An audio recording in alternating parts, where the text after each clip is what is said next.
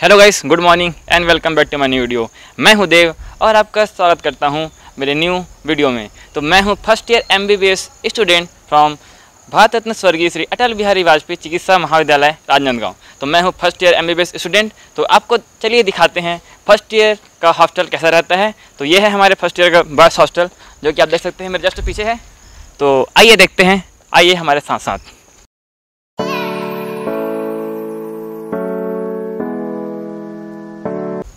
सो so, basically ये है girls campus लेकिन जो फ़र्स्ट ईयर का जो हॉस्टल है ना वो गर्ल्स कैंपस के अंदर है. तो आइए देखते हैं.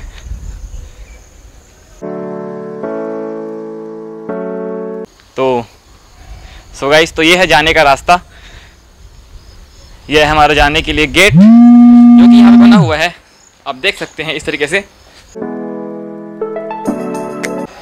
तो जस्ट आपके सामने है हमारे हॉस्टल के एंट्री का. स्थान। तो हमारे यहाँ पे गार्ड भैया बैठे हुए हैं। भैया जी हाय हाय बोल दीजिए वीडियो में। तो ये है हमारा ग्राउंड फ्लोर ग्राउंड फ्लोर में जो सुविधाएँ हैं, वो इस तरीके के हैं कि यहाँ पे मेज़ के लिए स्थान बना हुआ है। लेकिन अकस्मात कारणों की वजह से ये बंद है अभी फ़र्स्ट ईयर के हॉस्टल फ़र्स्ट ईयर के बच्चों के लिए। तो ग्राउंड फ्लोर में दोनों किनारों पे आपके बाथरूम बने हुए हैं। ठीक है? तो ये है ग्राउंड फ्लोर तो अब चलते हैं फ़र्स्ट फ्लोर में। सो so गाइस ये है आपका फ़र्स्ट फ्लोर तो फ़र्स्ट फ्लोर में हम पहुँच चुके हैं। तो यहाँ पर भी आपके दोनों कॉर्नर पे बने हुए हैं आपके बाथरूम जो कि आप देख सकते हैं, एक इस कोने पर है और एक इस कोने पर है। तो आपके फ़र्स्ट ईयर हॉस्टल में दो प्रकार के रूम होते हैं, एक बालकनी वाला और एक नॉन बालकनी वाला। तो आपको दिखाते हैं जो यहाँ के नॉन बालकनी वाले रूम हैं, वो कैसे होते हैं। तो आइए ये है हमारे एक फ्रेंड का रूम तो यहाँ पे हम आते हैं. यहाँ पे हमारे दो मित्र पढ़ाई कर रहे हैं, आप देख सकते हैं. ये हमारे सी आर हैं, देन चंद्रवंशी. और ये हैं आदित्य साहू, जो कि फ़िलहाल वाइस सी आर भी नहीं है. तो ये फ़र्स्ट ईयर हॉस्टल तो जैसे कि हम यहाँ प्रवेश करते हैं तो हमें दिखता है इस तरह के जो कि खंड बने हुए हैं. आपके पुस्तक कहाँ पे डीजे वीजे जो रखते हैं उसके लिए. तो यहाँ पे दोनों साइड में एक एक है. और ये आपको बताना ज़रूरी है कि एक रूम में दो बच्चे रहते हैं, दो स्टूडेंट रहते हैं, ठीक है? तो ये है आपका रूम अब देखते हैं बालकनी और रूम कैसे रहता है. तो अब जानते हैं बालकनी और रूम तो बालकनी और रूम के लिए मैं आपको लेके जाऊँगा अपने ही रूम में. तो चलते हैं सेकेंड फ्लोर में. सो so गाइस हम पहुँच चुके हैं सेकेंड फ्लोर तो सेकेंड फ्लोर में भी सेम उसी डिज़ाइन में बना हुआ है. दोनों कॉर्नर पे बने हुए हैं आपके वाशरूम तो आपको एक बार वाशरूम भी दिखा देते हैं. तो यहाँ आते हैं हमको देखने को मिलता है यहाँ का ये सब बेसिन लगे हुए हैं जहाँ पे आप अपने पर्सनल काम कर सकते हैं। तो यहाँ पे आपको मैं ज़्यादा कुछ दिखा नहीं सकता। और ये आपके देख सकते हैं आपके नहाने वहाने के लिए सुविधा बन, बनी हुई है। और इस तरह के हर फ्लोर में आपको दोनों विंग में एक एक वाशरूम के सुविधाएँ मिल जाएँगी। तो चलिए देखते हैं जो बालकनी वाले रूम हैं वो कैसे होते हैं। सो आइए गाइस तो यहाँ पे हम अंदर जाते हैं। तो ये है बालकनी वाला रूम जो कि ये, ये फ़िलहाल मेरा ही रूम है। तो यहाँ पे भी सेम वैसी सुविधाएँ हैं।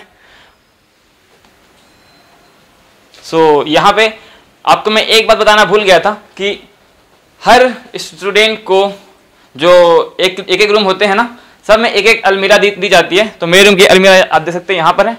और हर कॉर्नर पे इस तरीके के खंड बने हुए हैं जहाँ पे आप अपनी पर्सनल सामान रख सकते हो। तो आपको दिखाते हैं यहाँ का बालकनी कैसा होता है। सो so गाइस ये है बालकनी। ये यहाँ का बालकनी। तो यहाँ से इस तरह का व्यू देखने को मिलता है। इस तरीके के। और आज का मौसम भी थोड़ा अच्छा ही बना हुआ है, आप देख सकते हो। काले काले बादल। और ये जो आपको सामने हॉस्टल दिखे सब गर्ल्स हॉस्टल हैं। तो आइए देखते हैं यहाँ का टेरेस तो हम चलते हैं टेरेस की तरफ़।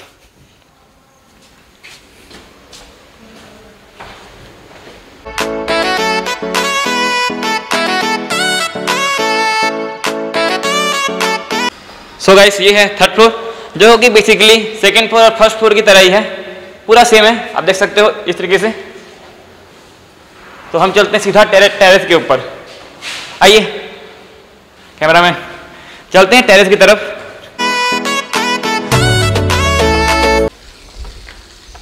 सो so गाइस आप देख सकते हैं, ये है फ़र्स्ट ईयर बॉयज़ हॉस्टल का टेरेस जो कि बड़ा ही बड़ा है, चौड़ा है। आप यहाँ पे जब आपको फ्री टाइम मिलता है, आप आ सकते हो, हवा खा सकते हो।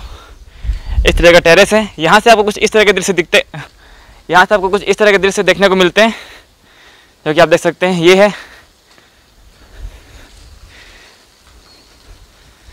और यहाँ पे आप देख सकते हो, आपकी रेलवे लाइन गई हुई है। जहाँ से आए दिन कोई ना कोई ट्रेन जाती रहती है। जैसे पीछे की तरफ़, देख सकते हो सर आइए आपको दिखाते हैं।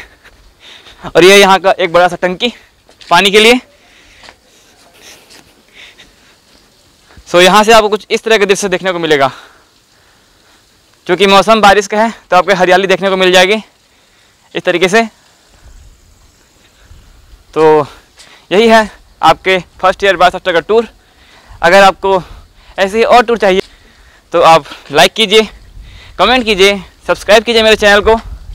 तो मिलते हैं आपसे एक न्यू ब्लॉग में, एक नए टूर के साथ। तब तक के लिए बाय